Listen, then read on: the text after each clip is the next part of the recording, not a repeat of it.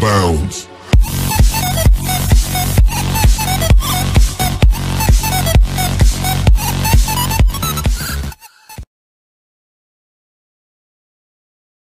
What's up, you beautiful bastard? Håper dere har hatt en fantastisk eh, onsdagskveld.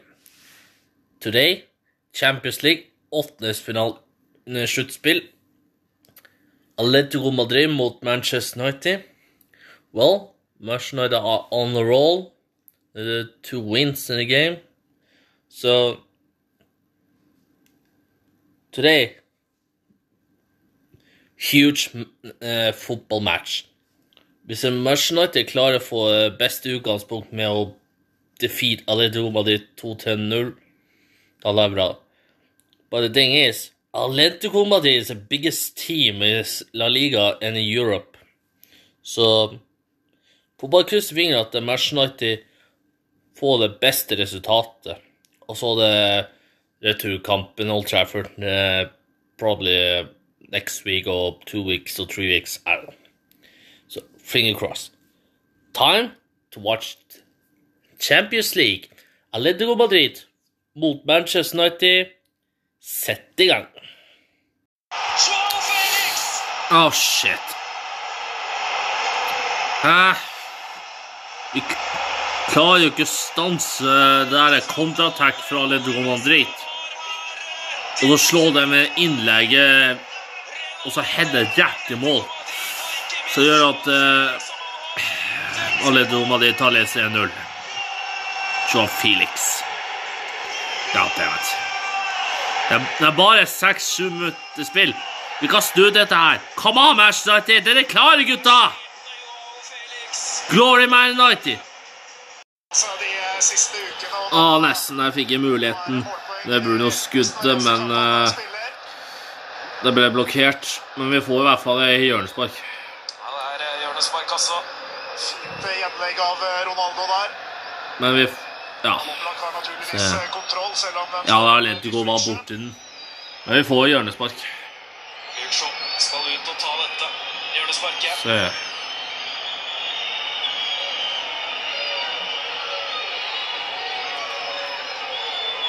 Og i nærmeste i, i boksen der, United.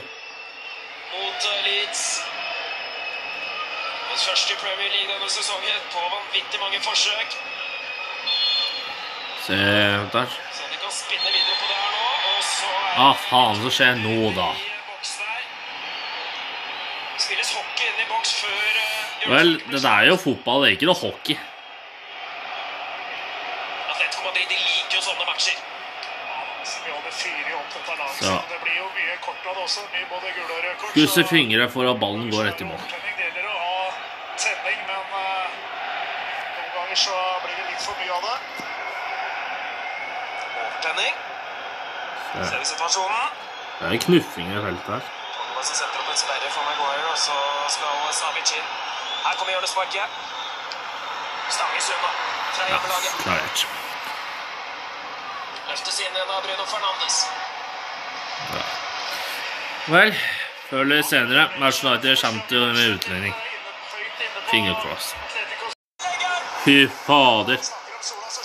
Kjempesjanse av Lentigo, men heldigvis så ballen går rett i tverrliggeren. Det var ikke så mye sjanser i første gang. En skåring av Lentigo og en eh, nesten halvsjansen av Manchester United. But Jesus Christ. Hvis det hadde vært 2-0 der, da hadde United skikkelig jobb å gjøre. Men jeg tror heldigvis at uh, Atletico leder bare 1-0 til pause. Da må United ha plan B og snur dette fra 1-0 til 1-4 til Manchester You name it. Dette klarer United. Kom an, gutta! Kjør på! Fokus! Og konsentrasjon, boys.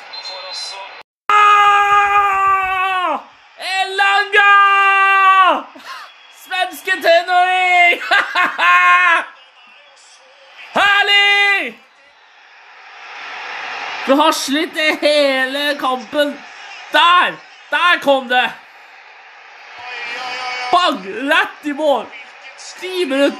før det er 90. Åh. Det er viktig scoring. Det der må vi ha før uh, utgangspunktet returkampen til Old Trafford uh, next time når uh, Manchester United møter Atletico. Uff. Men uh, når jeg tenker meg om Kanskje United bør ha mål til? Jeg, jeg, ser, jeg ser ikke noe galt det. Får vi to eller én skåring, ville vært supert. Glory Man United! Juhu! Boom! Fy fader, kjempesjanse, Atletico. oh, åh, Griezmann. Skuddet, skuddet går rett i tverrliggeren. Jesus. Og der er David Hea med beina. Det er viktig å forsvare veldig godt. Det er fire minutter igjen. Dette klarer gutta! Kom an, vær! Så med. Og så kanskje prøve å bruke energi i det løpet av de siste minuttene. Da får vi kanskje sjansen å få en score til. Vi får se hva skjer. Kjør på, Manchester! Come on, lads! Jobba, jobba, jobba! Øh, og da var kampen slutt. Eh, 1-1 mellom Atletico Madrid og Manchester United. Um, Atletico Madrid var det beste laget. The problem Manchester United De klarte ikke De klarte nesten ikke å komme til å skape flere sjanser hele tida. Det, eneste vi klarte, var for ett sjanse, det var en scoring, og det var Elanga. Men eh, det var viktig å få utlignet, sånn at vi får grei utgangspunkt til Old Trafford til eh, returkampen. Der er Manchester United spiller mot Atletico Madrid next week og two weeks. Eller tre uker, er det nå. Så øh, Svenske tenåring redda Manchester United. Hope you liked the video.